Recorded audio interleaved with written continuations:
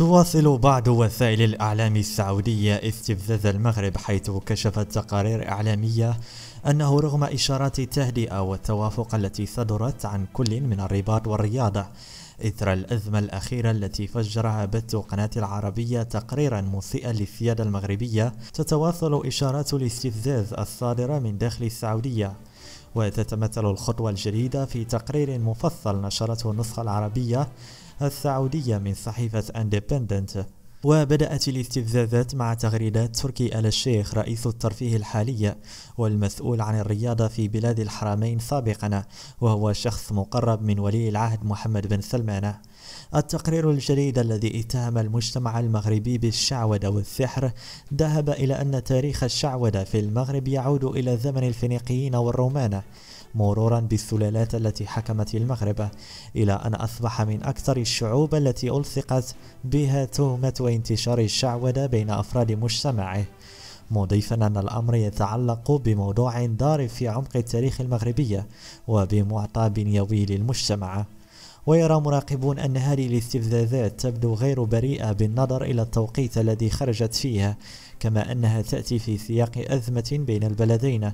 لم تعد صامتة بعد تقرير العربية وخرجة وزير الخارجية المغربي عبر قناة الجزيرة. في سياق متصل ذكر حساب المغرد السعودية الشهير على تويتر المعروف باسم مجتهد أن مكتب وزير الدولة السعودي للشؤون الخارجية عادل الجبيرة خاطب وزارة الشؤون الخارجية والتعاون الدولي المغربية من أجل لقاء الملك محمد الثالث بشكل عاجل غير أن الطلب السعودي وجه برفض من المغرب. ولا يزال الغموض يلف العلاقة بين البلدين في ظل التطورات الأخيرة وفي ظل بعض مساعي الوساطة التي تسربت الأنباء عنها من إحدى الدول الخليجية. لكن يبقى السؤال الذي يطرح نفسه بقوة هو من يقف وراء هذه الخرجات الاستفزازية التي بدأت مع تركي آل الشيخ ولم تنتهي بعد؟ وهل الملك سلمان على علم بها؟ ومن المستفيد من تدهور العلاقات بين البلدين؟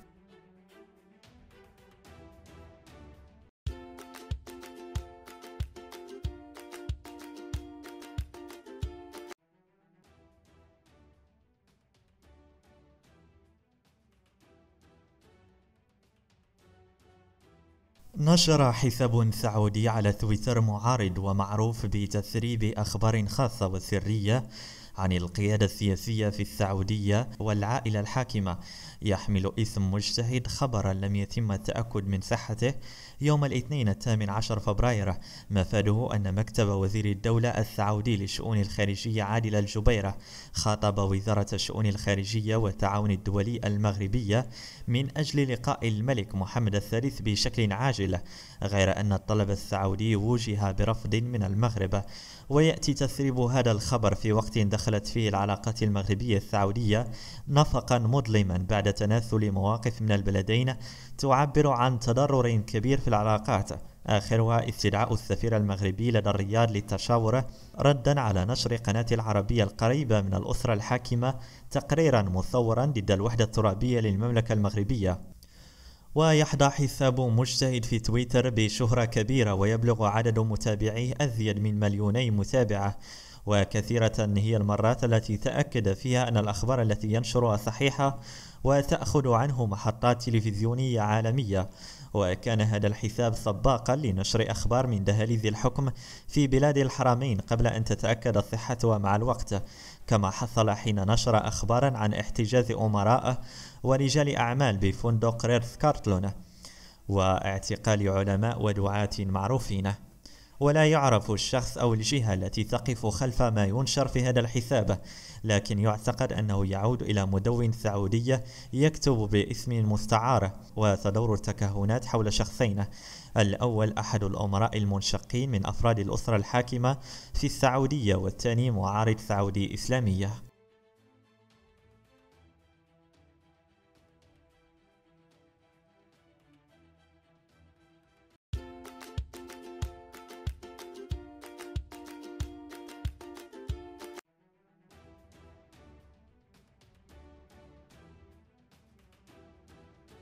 أفادت شركة ساوند إنرجيا البريطانية التي تتولى التنقيب عن الغاز بتندرارا اليوم الاثنين أن بئر تندرارا يحتوي على عدة ملايير من الأمتار المكعبة من الغاز وهو ما يؤكد ما ذهبت إليه الشركة في يناير الماضي غير أن الشركة استعانت بمكتب بريطاني من أجل التأكد مما ذهبت إليه في يناير وهي الخبرة التي استندت إليها في البلاغ الذي نشرته اليوم الاثنين الثامن عشر فبراير.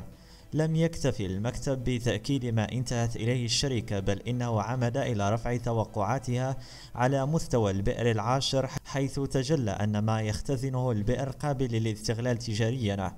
وتتحدث الشركة اليوم عن مخزون في حدود 15.4 مليون قدم مكعبة بعدما قدرته في يناير الماضي ب 10.5 مليون قدم مكعبة أي بزيادة بنسبة 47% وقال جيمس الرئيس المدير العام ل Sound Energy إنه بعد التحليلات التقنية ما بعد الحفر نحن سعداء بمراجعة التقريرات نحو الارتفاع لهذه البئر ونحن متلهفون للانتقال لإنتاج المخزون وبالتالي للطابع التجاري. وكانت الشركة حفرت البئر التاسع قبل ذلك حيث ثبت لديها أنه لا يحتوي على أي مخزون من الغاز ما دفع إلى ردمه.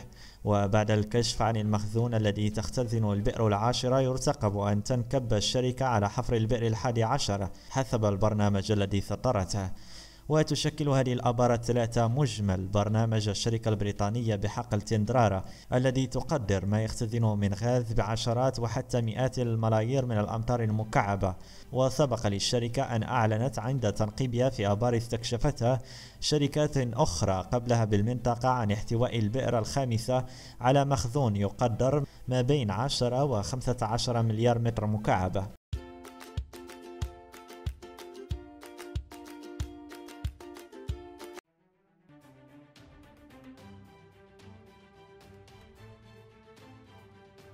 أكد كاتب الدولة المكلف بالنقل محمد نجيب بوليفة بأنه سيتم الإعلان قريبا عن مشروع الربط القاري بين المغرب وإسبانيا لافتا إلى أن المغرب تشتغل منذ سنوات مع إسبانيا من أجل الربط القاري بين البلدين وهما الآن في مرحلة تعميق الدراسات التقنية.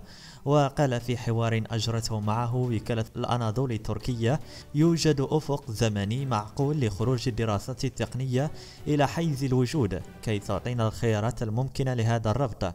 مضيفا الشركتان المغربية والإسبانية تشتغلان على إيجاد أفضل طريقة للربط القاري والدراسة المرتبطة بعمق البحار ستمكن من اقتراح عدد من الخيارات. وأوضح أن الخبرة السويسرية بينت أن بعض المقترحات التي كانت خلال العشرون سنة الماضية غير ممكنة أصبحت اليوم متاحة على أساس أن نقرر أفضل مقطع ممكن للربط مع مراعاة التكلفة والمخاطر المرتبطة بالبحار. وأضاف قائلا التوجه بدأ يتضح وسنحاول خلال السنة أو السنتين المقبلتين إنهاء الدراسة لتبدأ المرحلة المهمة وهي البحث عن التمويل. وبشأن إن كان الربط سيكون عبر جسر أو نفق تحت الماء. قال بوليف توجد ثلاث إمكانيات سيحسم فيها الجانب التمويلي والتقنية وعلى ضوء الإمكانيات ستكون هناك أرضية للمناقشة بين البلدين. من جهة أخرى وبشأن ملف إحياء القطار المغاربية. قال بوليس إن الاتحاد المغاربي يحاول منذ تأسيسه إنجاز هذا المشروع مضيفا أن كل البنيات التحتية والمشاريع الإقليمية مرتبطة بالمناخ السياسي السائد بالبلدان المعنية. والجديد هو أن الاتحاد المغاربي سيطلق دراسة للترويج وإعلان كيفية تحقيق الربط السككي وتابع أن السكك متوفرة إلا أن بعض المقاطع تحتاج إلى إنجاز. ودور الدراسة التي أطلقها الاتحاد هو عودة الملف إلى طاولة النقاش خاصة وأنه تم الاتفاق خلال لقاء وزاري لخمسة زائد خمسة في موريتانيا مؤخرا على هذا الربط السككي وكانت الأمانة العامة للاتحاد المغاربي قد أعلنت نهاية الشهر الماضي عن طلب عروض دولية للتسويق لمشروع إحياء القطار المغاربي وقالت الأمانة العامة عبر موقعها الإلكتروني إن طلب العروض الدولية يتعلق بالدعاية والترويج للدراسة الخاصة بتأهيل وتحديث بعض مقاطع الخط السككي المغاربية. وأضافت أنها حصلت على منحة من البنك الإفريقي للتنمية لتمويل الأنشطة التحضيرية لإعادة تأهيل وتحديث الخط الذي يربط بين المغرب والجزائر وتونس.